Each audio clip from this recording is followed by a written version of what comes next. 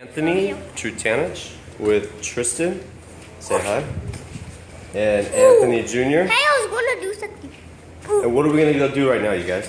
We're gonna go to the Stanley Cup and we're gonna. And we're gonna get it. We're gonna steal it, right? Yeah, to keep it Keep what? forever. The Stanley Cup. Shop. Let's go steal the Stanley Cup? Yeah. Alright, let's see what we can do.